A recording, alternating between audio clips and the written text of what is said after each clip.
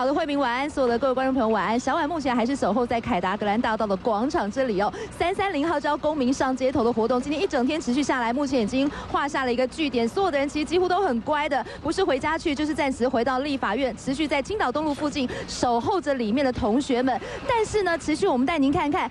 同样哦，都是在凯道举行活动。我们看到了，距离我们的主活动主舞台的后面就是总统府了。您还记得吗？去年的时候有号召这么多人上街头的时候，当然是去年的一九八五联盟，因为这个洪仲秋的事件，公民们也走上街头，同样是隔着五百公尺的地方，对着总统府内的马总统来喊话，希望得到马总统的诉求。当天晚上有二十万人次，那么相隔不到一年的时间，这一次学生们号召公民上街，支持他们在议场里面的诉求。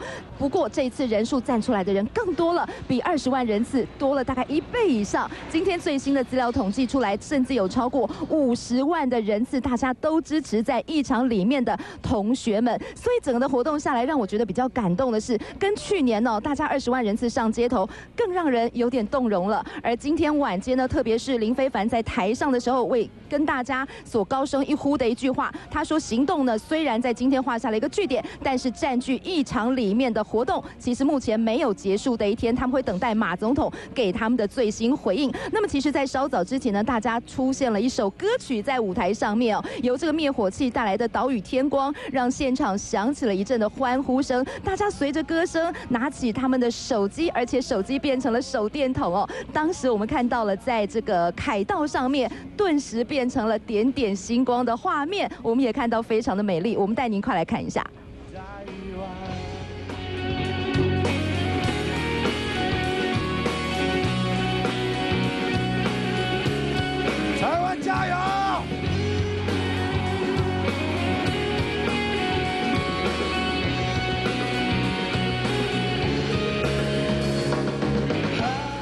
今天让我们也觉得非常感动的是，很多朋友甚至是国外回来的朋友，他们也说今天要来参加这样的活动。那现场还有这个妈妈抱着孩子的啦，还有爸爸带着儿子都要来参加。我问到他们说，哎，你们对这个服贸问题是真的是反对服贸吗？他们给我的回答是，其实他们对服贸并不是很了解，他们主要是对整个的社会体制的不满，他们主要是跟随着林非凡出来的登高一呼，要跟着他持续他怎么讲，他们就要怎么做。我们来带您听听看，刚刚稍早之前民。众的访问，接下来一步他们要怎么走？有的人是要回到立法院的外头去的。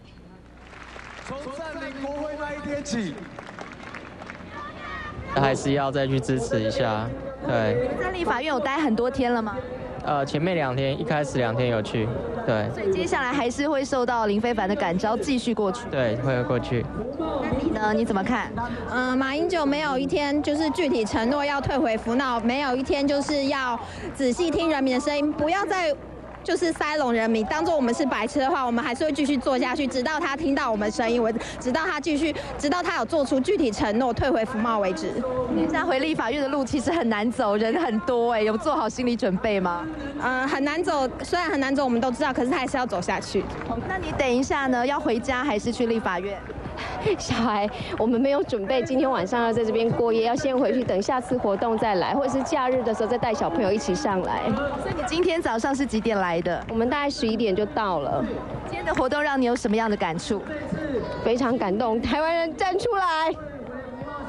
好看你在吃香蕉哎，这怎么回事？这太这是太阳花。所以你自己带过来？哦，对对对对对。你刚刚在现场吃很久吗？还是有发？因为因为大家饿了，就是所以就发给大家吃一下。对，因为做蛮久的，嗯。好，谢谢谢谢。那你等一下是要回到立法院吗？那应该是应该是，因为在那边待蛮多天的。你待了几天？呃，四天吧。然后其他这因为这几天去比赛，所以就没有继续待。好，加油加油加油！